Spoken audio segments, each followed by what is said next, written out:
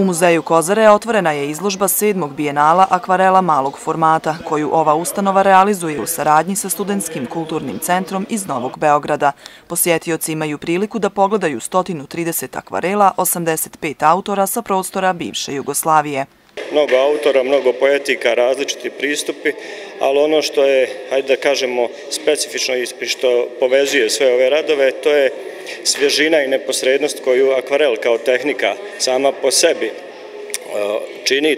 Bijenale akvarela malog formata karakteristično je po tome što njeguje klasičnu likovnu tehniku i što je skoncentrisano na mali format. Ovo je zaista nama zadovoljstvo kad god dođemo ovde u Prijedor. Saradnja je uspostavljena od prvog bijenala sa prethodnim direktorom Jelenkom Radivojcem. Evo, nastavili smo uspešnu saradnju i sa Zoranom Radonjićem i meni je drago da beogradska publika, da posle beogradske publike vidi prijedorska publika bijenale akvarela.